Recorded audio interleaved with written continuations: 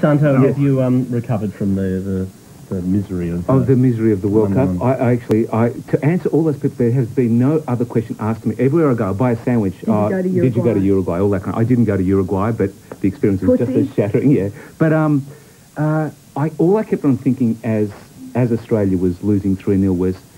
I, I am hereby sick of barracking for Italy in the World Cup. You I just you you just want want, some get, let it happen. yeah. You know, it's What, just what do you mean when you say that? well, you mean you yeah, want some new... Yeah, you know, yeah, I I think that, you know, obviously they, they were a good enough, and there's all this stuff like, oh, they were beaten by a better team.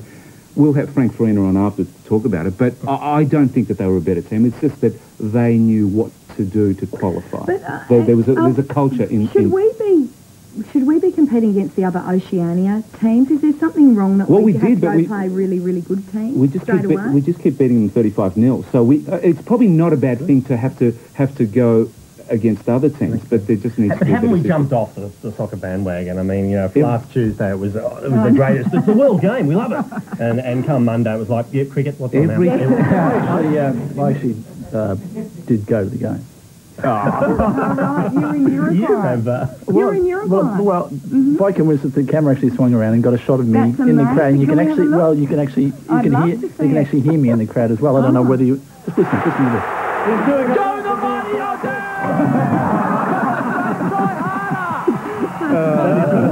That, that was really pathetic. Wasn't it? That was really No, pathetic. but I really appreciate anyone that goes to effort. Yeah, well, you know. Can I show you a piece of footage that um, that uh, I, they had a slow motion in Frank Farina's like a, a very emotional moment. Yeah. And it, security was a big issue, wasn't it? Yes, that's right, up yeah. truth. And and the, the, watch the riot policeman in the background of this of this scene here. just had happened if Harry Kewell's cross had been met at the other end. And that's Oh, he's you now. Oh, that's not right. If you, if you actually look carefully, his German Shepherd is wagging his tail.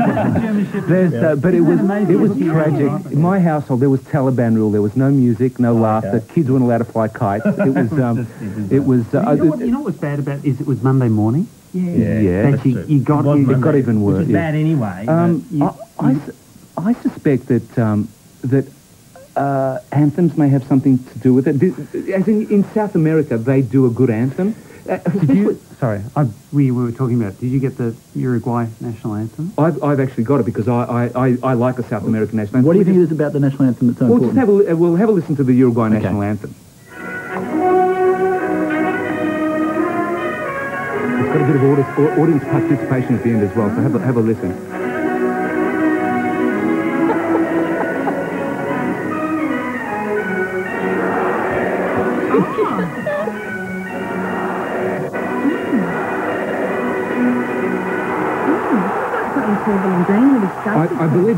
Spanish for yes, we can. But but but there's something really militaristic, mm. don't you think? Like Yeah. we've got a, an anthem that's kind of like sounds good at school, but in South America there's there's something That really sounds like it's on, on an LP record. It's a bit scratchy and a bit, you know. Yeah, but at Montevideo, it's, it's not exactly. They're not going to, you know, drag out, you know, Jimmy Barnes's kid or anything like No. that. to- to- It is. It's music for generals, isn't it? yeah, it is. exactly. It is. You Yeah. you feel really doing something violent and Music to win by. exactly. I think it is. It's got it's it's got that, you know. I tell you what though, I've got hooked.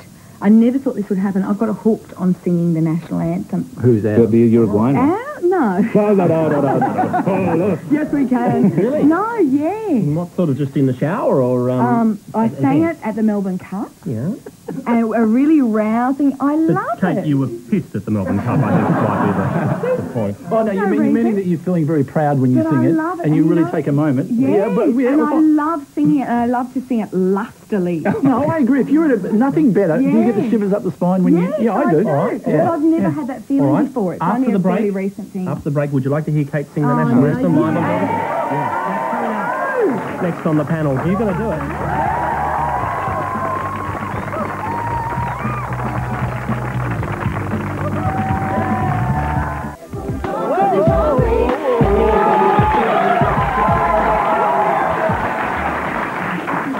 So just a few days ago, our first guest was over there in Uruguay, desperately trying to help the Australian team qualify for the World Cup. Sadly, it was not to be. But he's back here now, keen to give another shot in 2006. Mm-hmm. Please welcome mm-hmm. Australian coach, Mr. Frank Farina.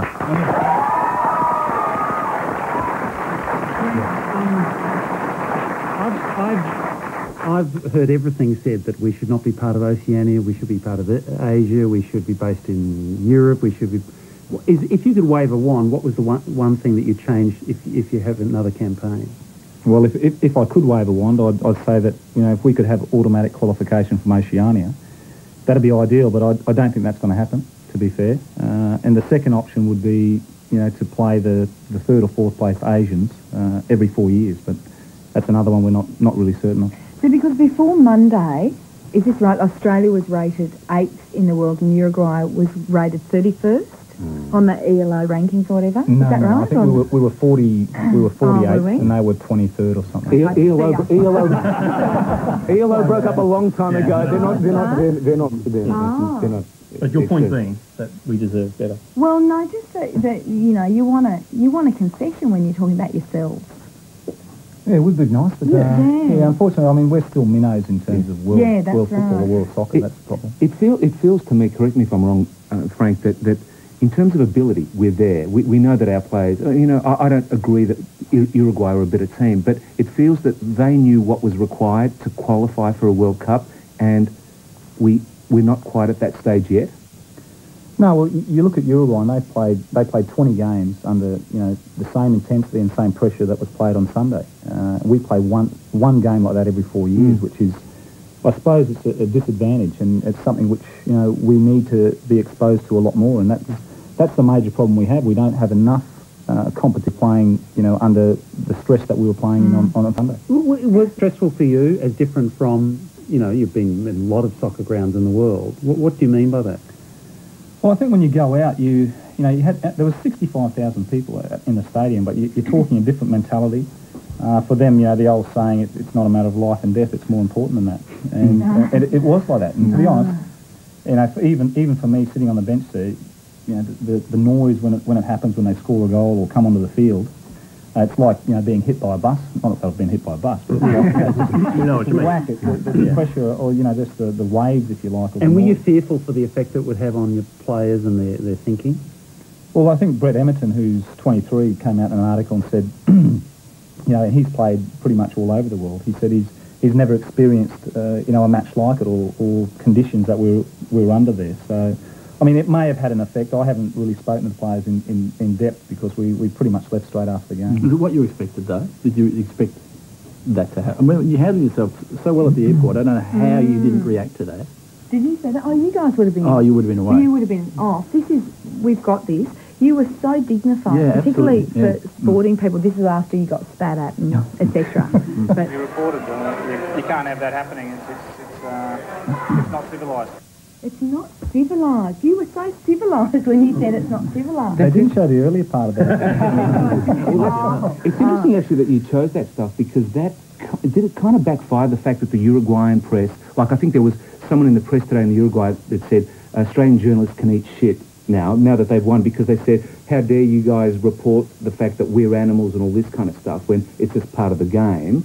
So do you think that perhaps our press here took all that out of, out of, out of, they, you know, they, they Beat it beefed up it a up a bit. bit? or- Look, it was a small minority who were at the airport. I, I personally think it was a setup. Uh, no one would know what time we were due to arrive at the airport or whatever. Um, but, you know, it was a small minority. But at the end of the day, you know, it's the wrong thing. If, if that happened in Australia, you'd be locked up. Oh, you know, you'd be locked Oh, up and someone, arrested. someone gobbed on you. Oh, not Now, only on that's me, on a just- few of the players. That's just. You know, it's Harry Kewell, though.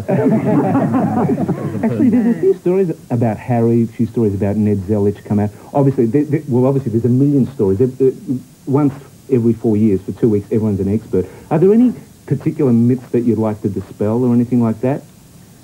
Well, I think that the big one that's going around about Harry at the moment is that, you know, he, he put an ultimatum to, to, to me and the team that he had to play in a certain position and he wanted the captaincy and, I mean, that's the biggest load of garbage I've ever heard, you know. Harry's uh, he's a pleasure to work with and he basically said, look, you know, you're the boss wherever you choose to play me.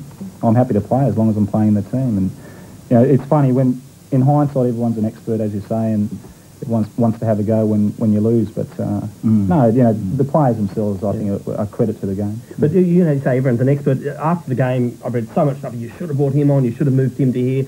Do you read that, or do you just that's just a wall and you don't?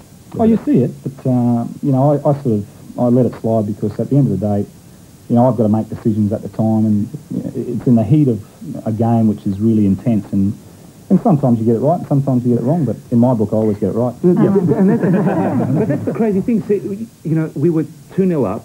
Uh, sorry, we were 2-0 down, and they scored a goal. Had we scored a goal, then we'd be having a completely different discussion. It's, it, it, you know, we'd be talking about how much of a genius you are and how much of a genius Soccer Australia and all the players are. That's, they're, That's they're, sport. That's sport, and especially soccer, yeah. But what's in- interesting is that you then you, you it, you, it goes from like the greatest triumph to the to the worst sort of sporting tragedy for you.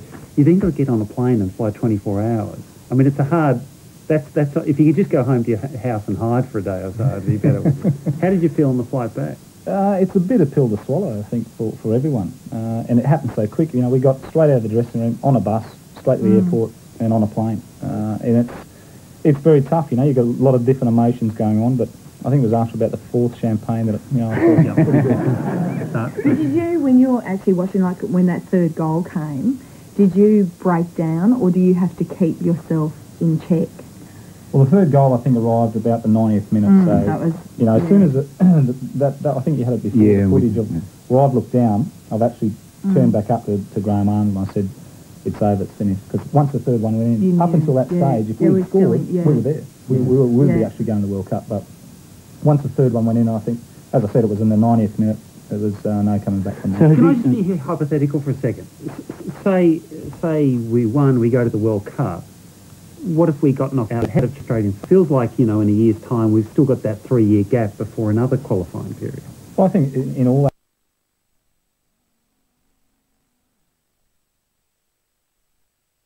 Say, say we won, we go to the World Cup. What if we got knocked out in the first or second round? How would that have changed Australian soccer? It feels like, you know, in a year's time, we've still got that three-year gap before another qualifying period.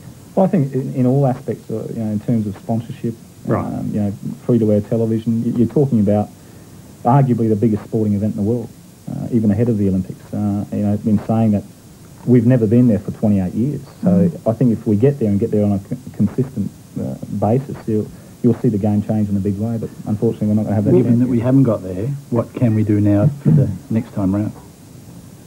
Is it Well- money? Uh, yeah, I think the game's going to be. We're still going to go ahead. You know, you get knocked down, you've got to get up and, and move forward. But I think it just showed the last three weeks the the game in this country is alive and well with the amount of people that, for example, watched you know the game here in Australia and the game in Uruguay. Mm.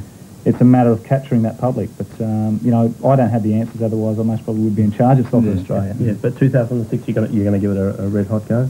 Uh, yeah, look, I haven't, you know, I haven't been made an offer just yet, uh, and uh, you know they've said they want to keep me for four years, so hopefully I will will be here in 2006. C- Can you work? Can you work like in Europe for a couple? Of, I know that they want you in Europe. Can you work in Europe for a couple of years and then dedicate yourself to the World Cup, or is it one or the other? No, it's one or the other, I think, Okay. and, and if I had the choice, you know, I'd stay here. Mm-hmm. Well, best mm. of luck. We'll be watching with great interest and hanging in for another four years for the, for the next World Cup But attempt. not, can you make the next one not at bloody 6 a.m.? Would you please thank Mr. Frank Farina? Good point. Back with more panel right after.